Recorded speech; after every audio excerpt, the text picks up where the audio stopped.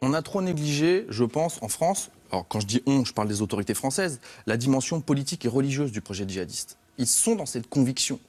Euh, on a, sait en France euh, un petit peu arc-bouté sur l'analyse de la grille de lecture sectaire.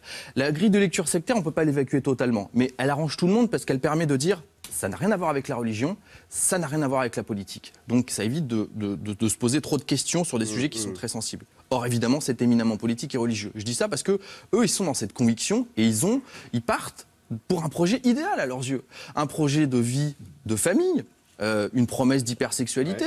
Euh, voilà, alors ça, vous le racontez, certains partent parce qu'en fait, ils vivent la misère sexuelle en France et ils se disent au moins, là-bas, on va me donner une femme. Alors, on ne peut pas dire que ce soit le critère numéro un, mais c'est un critère important.